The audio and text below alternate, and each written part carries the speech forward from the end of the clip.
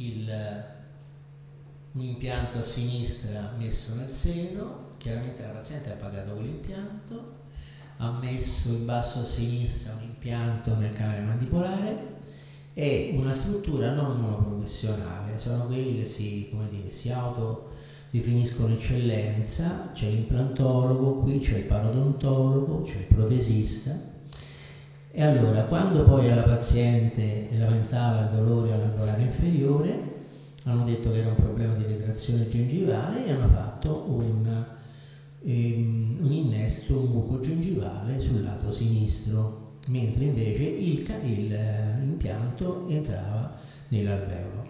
Allora, prima vi avete fatto vedere, cioè, abbiamo fatto vedere diversi livelli dell'uso di un sistema di misura.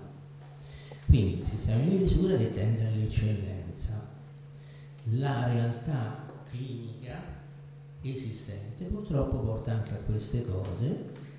Quindi noi probabilmente Togni va proprio sulla luna ma questi proprio eh, vanno in cantina. Vorrei dire nel vatere in cantina però non l'ho detto. Così no queste sono le realizzazioni di questo tipo.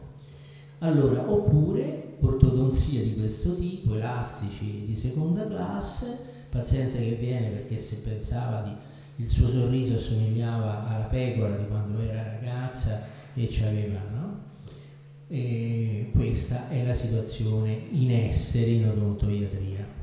Allora, la sistematica Slavicek cosa può dare? Primo, i pazienti neolaureati, se tu hai professionalità e competenza, magari aspetti un anno, due, tre, quattro, alla fine lo studio ti si riempie perché tu sai lavorare. Se lavori con l'estrazione dei quarti e l'arredramento del mascellare, usi l'arcata guida all'inferiore, tu farai dei disastri, quindi tenderai a essere così, produrre un deserto intorno a te. Infatti la prima diapositiva è di uno studio che, il cui titolare è scomparso, sono fuggiti, cioè c'è una realtà un pochettino malavitosa all'italiana. Allora, la professione negli anni 70-80, la formazione era scarsa perché, eh, come dire, l'università si picca come dire, di dare una preparazione scarsa, soprattutto nel 70. Poi era una realtà di studi monoprofessionali, chi era di Roma per avere pazienti e fare casistica doveva andare in provincia, produrre una clientela in piccoli paesi dove ancora non esisteva il dentista. Quindi la clientela si cresceva con una clientela, diciamo, basic, però come di, di grandi eh, problemi di cari penetranti, pulpiti, estrazioni, denti del giudizio, di sedontiesi, eccetera, e si avanzava. Questa è stata la mia storia. No? Avril, io per un problema complesso ho conosciuto Avril. Io avevo problemi di, eh, dire, per risolvere la ricostruzione di un caso complesso ho cercato la cultura che c'era in Italia e la cultura in Italia era Avril che veniva da Francoforte questo era il mio caso, purtroppo mi sono perso il modello superiore, praticamente all'epoca non c'erano impianti, era una massa di perni moncone sia la parte superiore che la parte inferiore, il paziente cliccava, cioè non sapevo come mettere in bocca questi denti, cioè bisognavo di una conoscenza così dell'uso della cerometria in protesi, bisognavo di un piano occlusale, cioè praticamente eh, necessitava la cultura di Slavice. La cultura di Slavice serve per ricostruire bene, perché se no non avevo criteri, perché sai, ponticello, una capsuletta che si adatta all'esistente, ce la fai, ma quando il caso è grosso, grandi ricostruzioni su impianti oggi, quindi là dove si fanno due soldini, no? in maniera meravigliosa perché il paziente ha molto bisogno di noi, tu come fai? Ma Avril perché? Avril perché è venuto in Italia?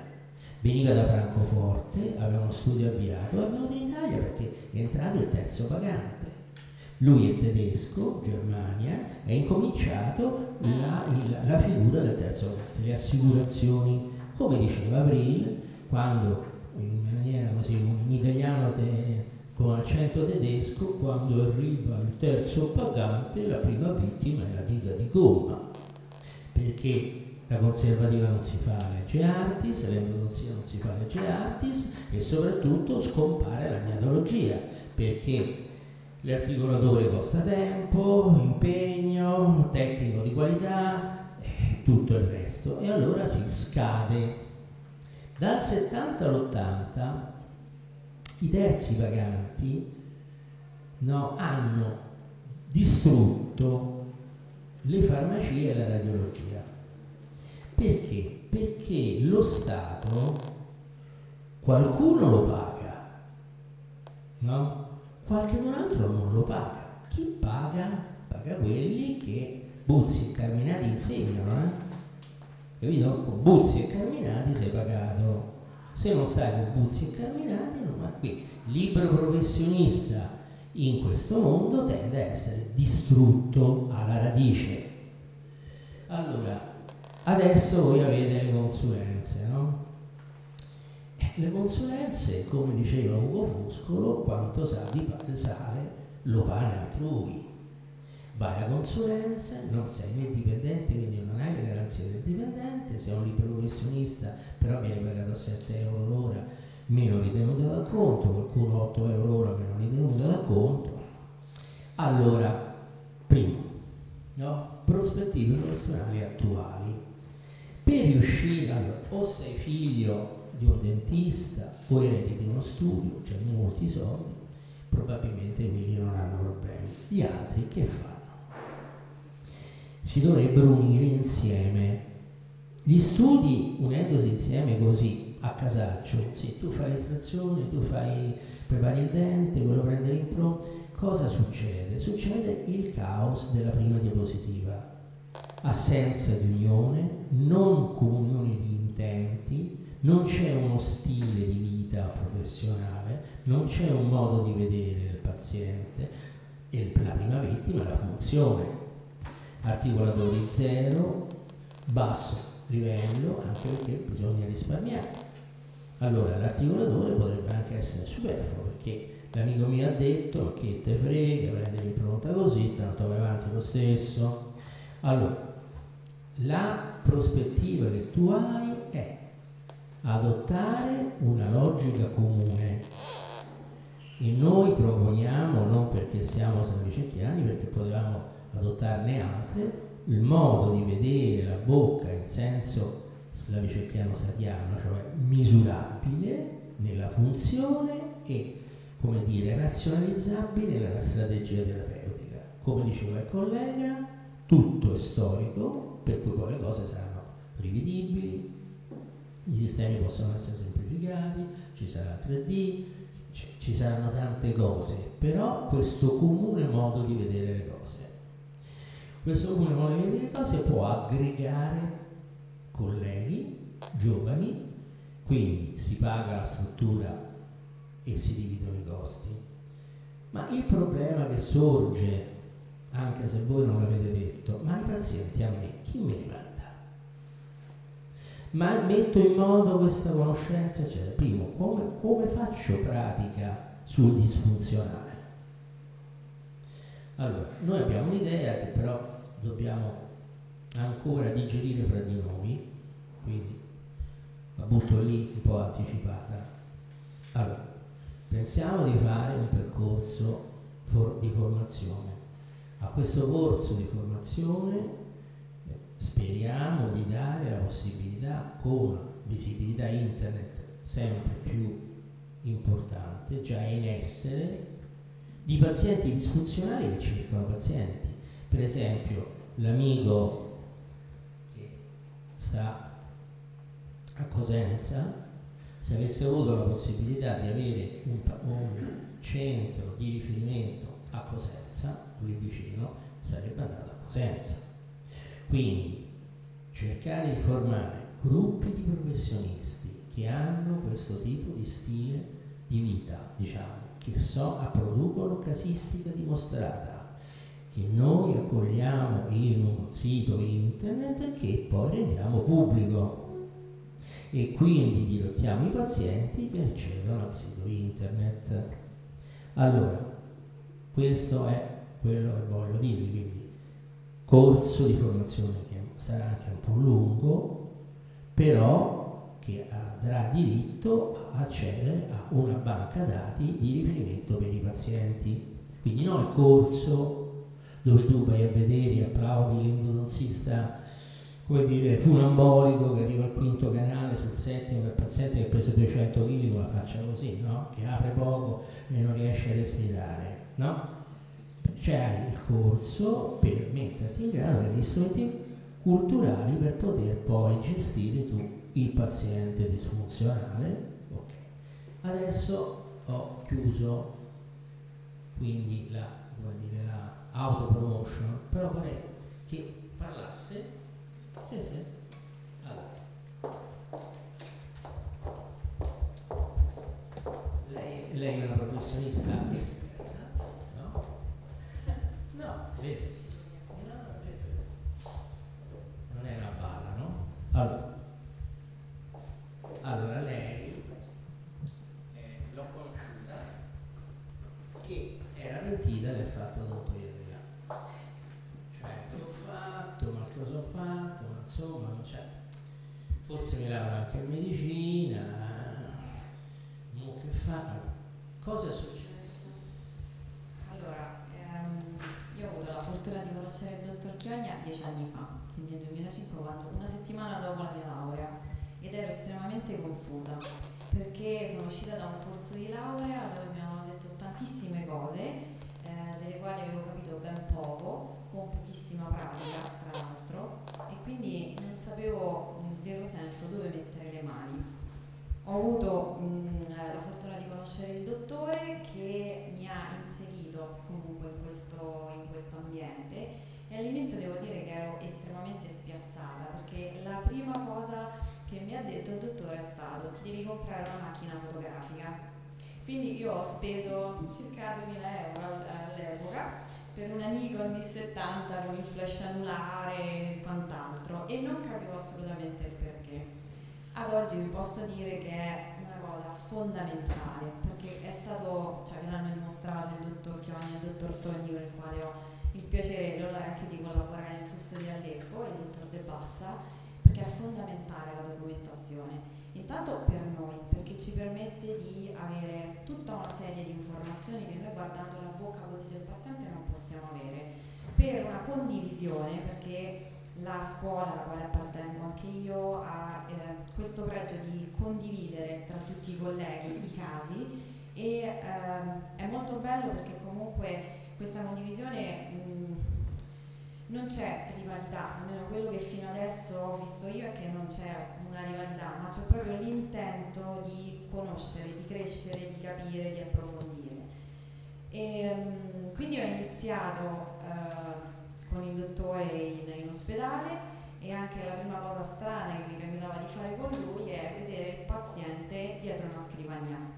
Cioè noi vedevamo il paziente prima dietro una scrivania, quindi la maggior parte della visita era una chiacchierata perché ti permetteva di capire innanzitutto chi avevi di fronte, la storia del paziente, la tipologia del paziente, cosa voleva il paziente, cosa tu potevi raggiungere con quel tipo di paziente. C'erano dei pazienti che poi alla fine non volevano neanche guarire. È incredibile, però è così, è così.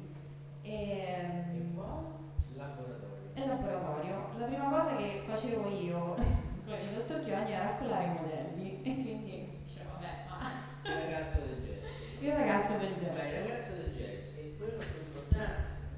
È quello che ti sfascia tutto, che ti cola male l'impronta, che te lo monta male, che non verifica, che non fa lo split, che non te lo seziona. Cioè tutto la, fare della nostra vita professionale una situazione in cui la destra sa quello che fa la sinistra, mentre invece noi tutti abbiamo, tutti, io non ce l'ho mai avuto il tecnico, oh, fai il tecnico, no, cura lui, fa lui, monta lui, decide lui. Allora a quel punto no, non, cioè, non, non vai da nessuna parte. Quindi che cosa si propone? Chiaramente di farsi il cosiddetto mazzo, no? devi, devi studiare, devi aggiornarti, devi rivalutare criticamente quello che fai perché c'è sempre stato qualche errore e potevi fare un po' di più. Allora, tutta questa situazione di ansia produttiva che produce una figura che si chiama professionista. Perché poi dopo, il, come dire, l'abbiamo voluta noi, il low cost perché si è sparsa la voce che impronta è con la mano, certamente non c'è la, l'accuratezza di questi due signori, no? Cioè nel senso impronta, la precisione, il piano, no, non porta niente a nessuno. E guarda caso producono problemi. Allora, dato che il mondo di questi cialtroni, il mondo dei più, tu stai tranquillo, a te ti arriveranno una montagna di pazienti, no? Ti arriveranno una montagna di pazienti. Questo è indubbio. Poi ci stanno quelli che si sono scassati da soli perché la, la natura li ha scassati. Adesso forse mi mettono in galera perché non si può parlare in maniera esplicita, però adesso volevo dire la parte economica. La conclusione di tutta questa storia ha permesso di vivere da un punto di vista professionale. Prima, sei scontenta? No, assolutamente no, perché comunque eh, dopo aver iniziato questo percorso, poi nel 2009 eh, sono andata in Austria, ho iniziato a studiare con il professor Slavicek, con il professor Sato, studio tuttora con il professore e ehm, come ha detto giustamente il dottor Chiogna ci si fa il mazzo, sia da un punto di vista di studio che da un punto di vista economico, però questo mi ha permesso, devo dire, di distinguermi un pochino dalla massa.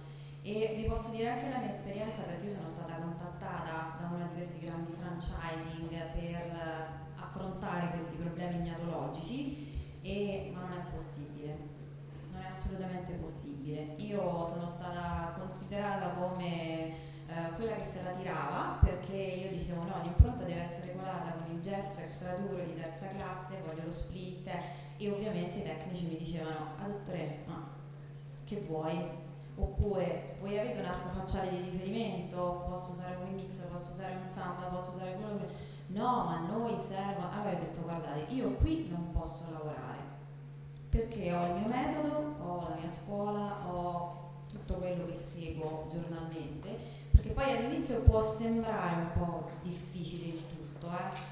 però poi diventa parte integrante del, del tuo lavoro.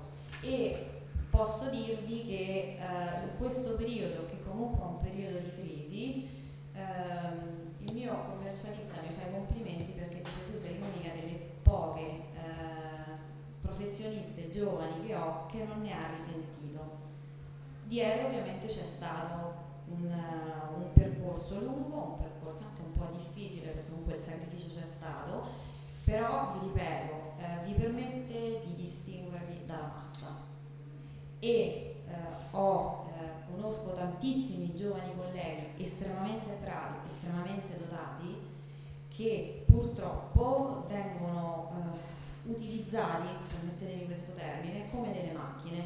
E noi non siamo questo, perché eh, si perde in questo tipo di ottica il rapporto con il paziente il rapporto con il paziente, l'empatia come vi hanno già spiegato eh, i dottori è fondamentale e vi ripaga anche se ci vorrà un pochino di tempo però vi ripaga. Quindi questa è la mia esperienza. E ringrazio il dottore perché è cominciata tutta con lui. No però, però chiaramente io vi ho dato l'occasione però lei se l'è meritata. Lei è vero avanti, cioè, eh, uno dà la palla per tiro la porta, porta la devi prendere, devi tenere a te in porta, no?